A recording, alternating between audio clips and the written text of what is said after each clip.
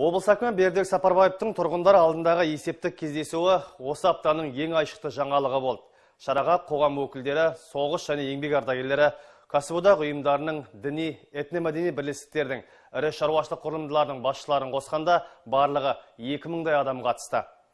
Сондай ақ өңір басшысының есебіне қатысуға президент әкімшілігінің мемлекеттік инспекторы Шалқар Байбеков пен Бәйтерек ұлттық холдингісінің басқарма төрағасы Ерболат Досаев, Нұр Отан партиясының хатшысы Зауытбек Тұрысбеков арнайы келген.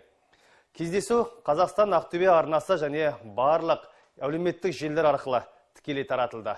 Толығырақ Серік Абдыбектің бейнематериалында облыс басшылығының алдындағы басты міндет әлеуметтік экономикалық көрсеткіштерді төмендетпеу жұмыссыздық санының өсуіне жол бермеу. Бұл елбасы мен үкіметтің талабы. Дәл осы салалардағы ақтөбе облысының жетістігі 2015 жылмен және республикалық орташа көрсеткішпен салыстырғанда жоғары. Экономикалық өсім 102 пайыз жаңадан ашылған жұмыс орындары 16 мыңнан асады ал жұмыссыздық деңгейі 4,8 пайыздың шамасында. Инфляция да республикалық көрсеткіштен төмен. Бұл сандар нақты жоспар мен нық сенімнің айғағы. Мемлекет басшысы нұрсұлтан назарбаевтың қазақстан халқына берген тапсырмасы ондағы ең негізгі тапсырма.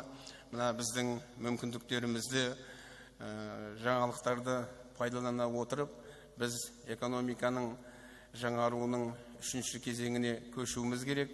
Қазақстанның экономикасы дүниежүзілік бәсекелестікке сәйкес келу керек. Осының барлығын ескере келе біз мынау 2017 жылға өзімізге мына көрсетілгендей міндеттер алып отырмыз.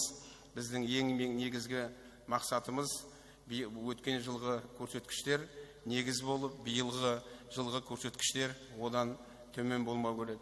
Ақтөбе облысында өнеркәсіп өнімдерін өндіру жоспары 2016 жылы 100 бүтін оннан екі пайызға орындалды. Оның ішінде тау кен өндірісінің үлесі 92 бүтін оннан жеті ал қайта өңдеу саласының үлесі 115 бүтін оннан бес пайызға жетіп ақтөбе облысы республика бойынша бірінші орынға шықты.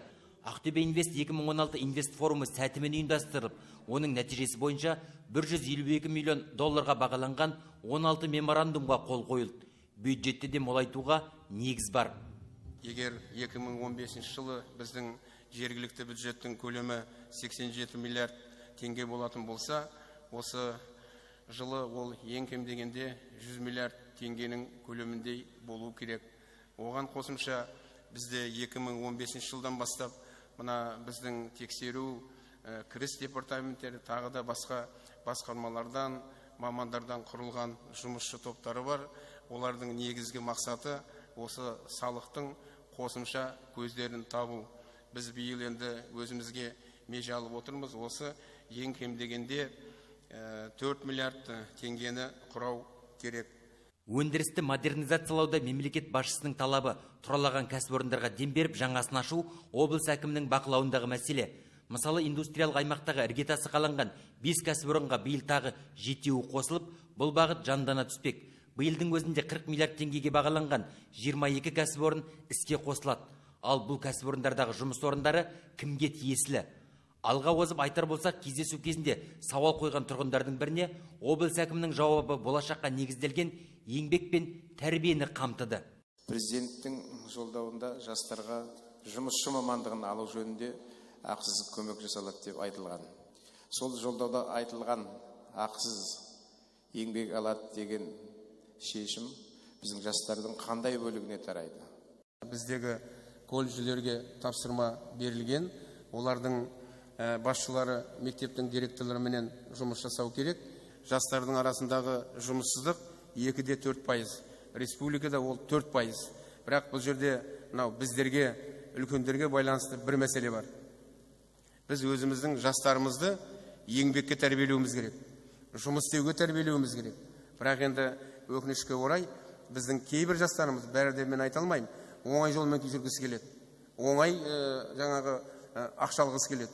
Ол деген болмайды.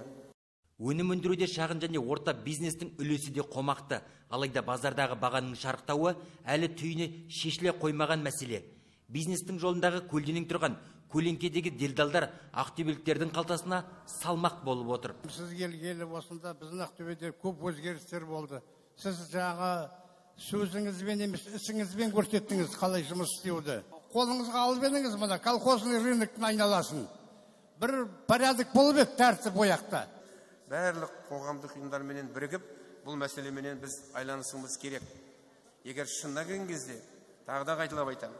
Көп бағаны біз өзіміз жасанды жасаймыз қосамыз. Мен енді мына шаруаларменен кездесемін ғой.